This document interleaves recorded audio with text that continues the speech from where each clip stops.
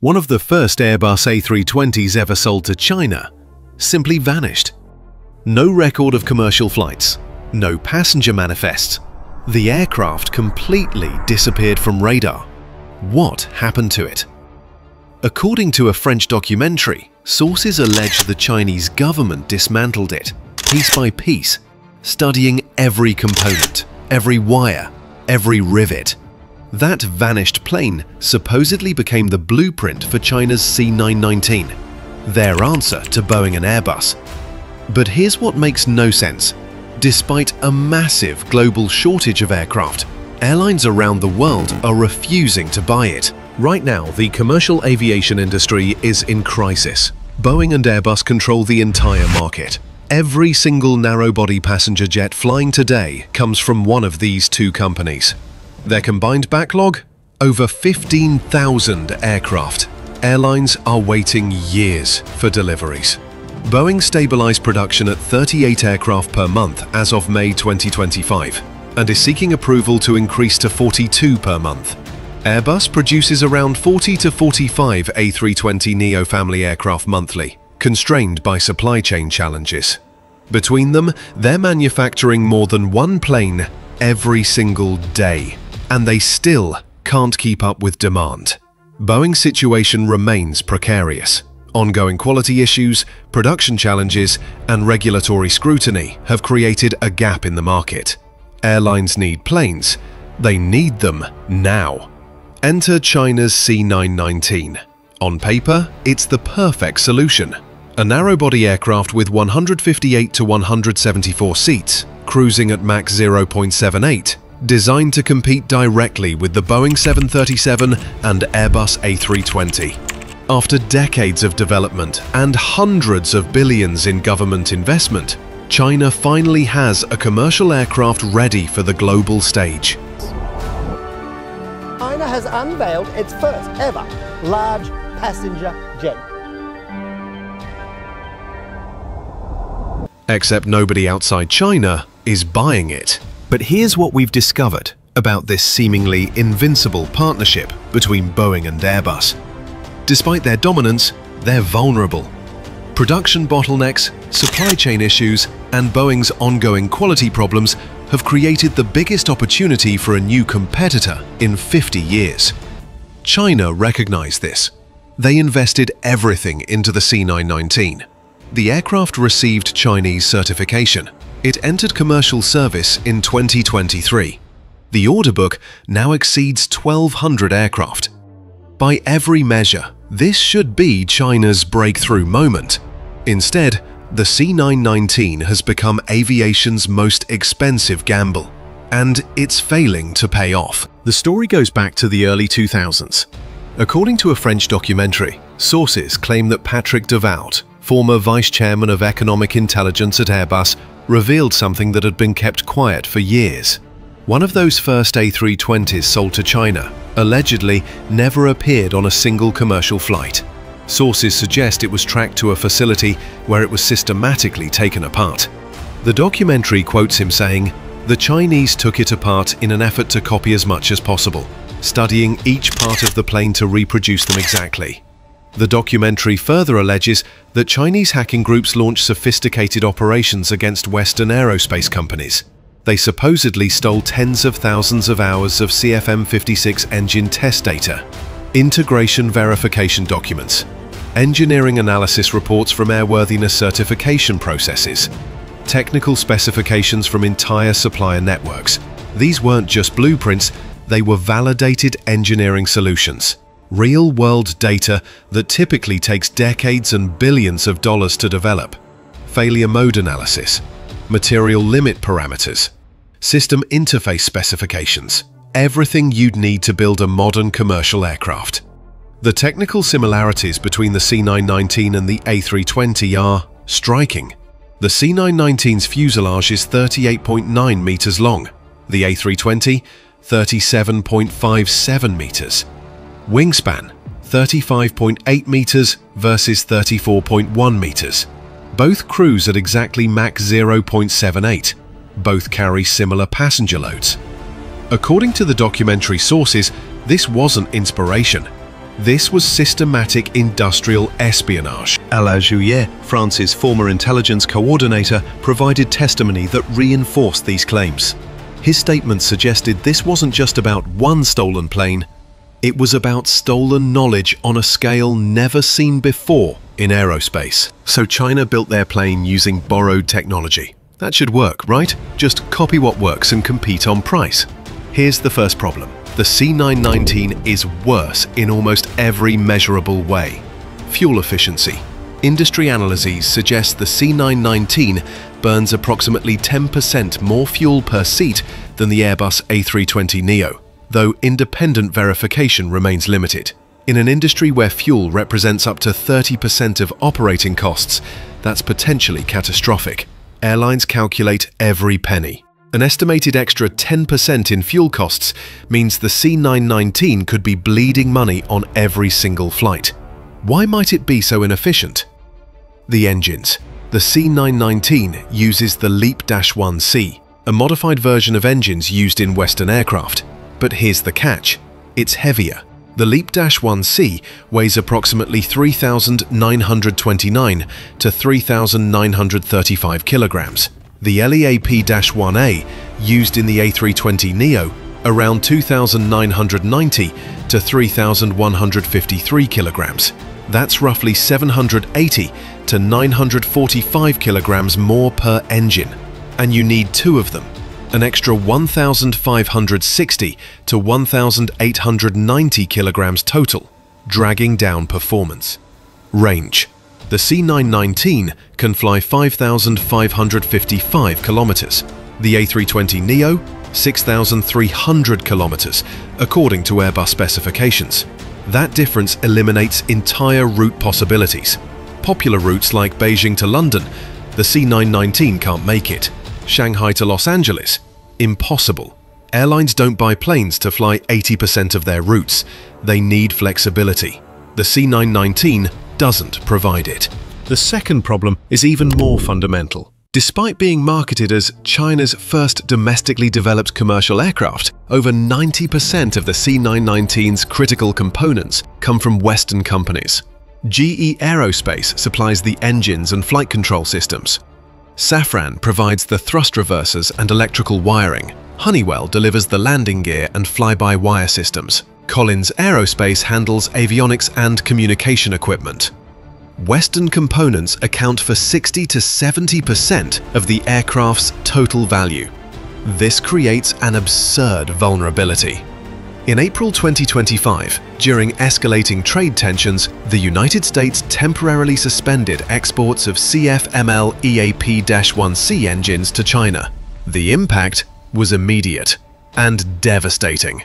COMAC's delivery targets collapsed overnight, from an ambitious 75 aircraft down to just 30. As of mid-2025, they'd only delivered 5 C919s out of 32 planned aircraft to China's three major airlines. Think about what this means for an airline. You buy a Chinese aircraft to avoid dependence on Western manufacturers. But when something breaks, and things always break in aviation, you need parts from American and European companies. You need technicians trained on Western systems. You need documentation and support networks that exist primarily outside of China. For airlines operating internationally, this is a logistics nightmare. You're flying an aircraft that requires a Western supply chain to function, but without Western certification or support infrastructure. China knows this. They're developing the CJ1000A, a domestic engine meant to replace the Western LEAP. But certification keeps getting delayed. Initial projections said 2027, then 2029. Current estimates? Not before 2030. That's five more years of complete dependence on the very companies China is trying to compete against. The engine supply disruption exposed just how fragile this entire operation is. Without a reliable domestic alternative, every C919 is a geopolitical hostage. The third problem is production capacity. Boeing stabilized at 38 aircraft per month and is seeking approval for 42. Airbus produces around 40 to 45 per month, also facing supply chain constraints Between them, they're still manufacturing more than one plane every single day. Comac? They delivered 15 C919s through the end of 2024. For 2025, Comac is targeting 30 deliveries, with production capacity being scaled to 50 aircraft annually. Their longer-term goal remains 200 aircraft per year by 2029.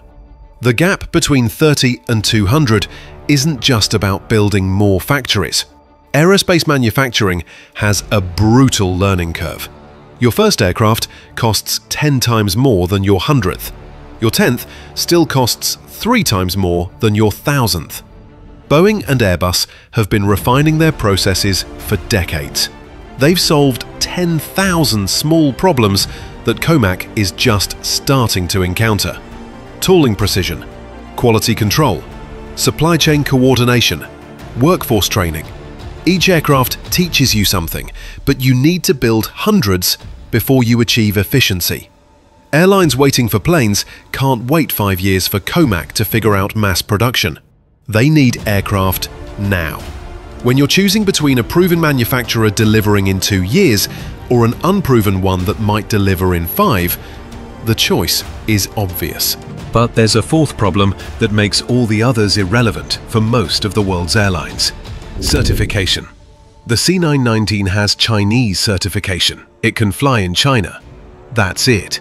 To operate in the United States, you need FAA approval. To fly in Europe, you need EASA certification. Most countries around the world recognize either FAA or EASA standards. Without them, you're locked out of the most lucrative aviation markets on the planet.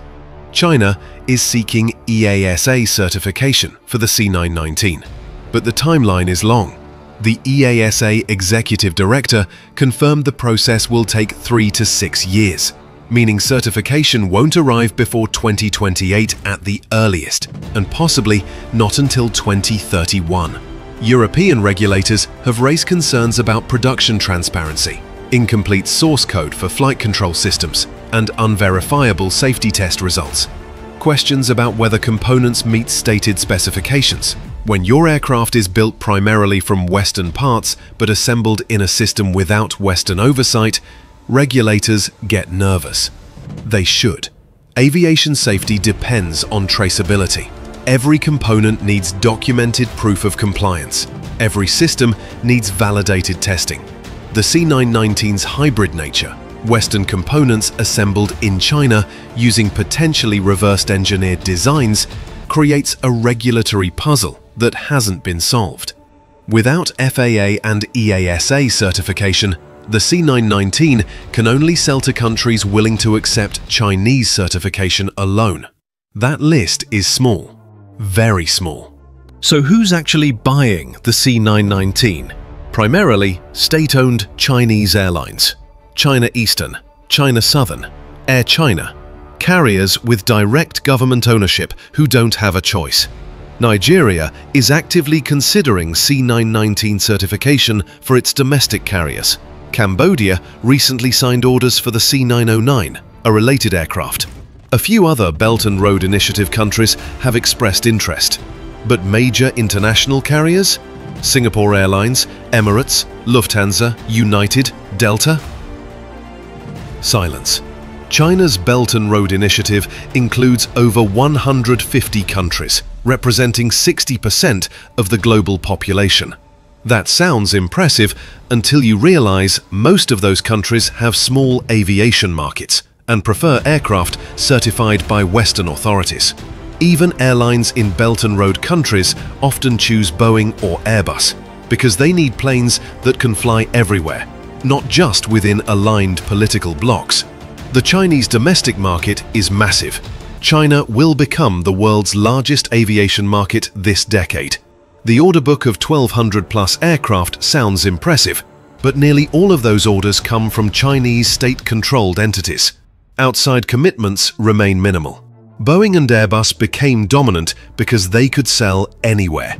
Their aircraft fly every route on Earth. Airlines invest in their planes knowing they'll have resale value, knowing spare parts are available worldwide, knowing pilots trained on them can work anywhere. The C919 offers none of these advantages. The C919 represents China's ambitious attempt to challenge the Boeing-Airbus duopoly, but faces fundamental obstacles beyond reverse engineering allegations. China spent decades and invested hundreds of billions of dollars to break into commercial aviation. According to documentary sources, they allegedly acquired technology from the most advanced aircraft manufacturers in the world. They built an entire aerospace industry from scratch. They certified an aircraft and put it into commercial service. And yet, the C919 remains largely confined to Chinese airlines and select Belt and Road Initiative partners. With only domestic certification, limited production capacity, and dependence on Western suppliers for critical components, the aircraft cannot compete in the global market that determines success or failure in commercial aviation. The lesson isn't that reverse engineering doesn't work. The lesson is that modern aircraft are so complex, so dependent on global supply chains, so embedded in international regulatory frameworks that copying technology isn't enough. You need the entire ecosystem.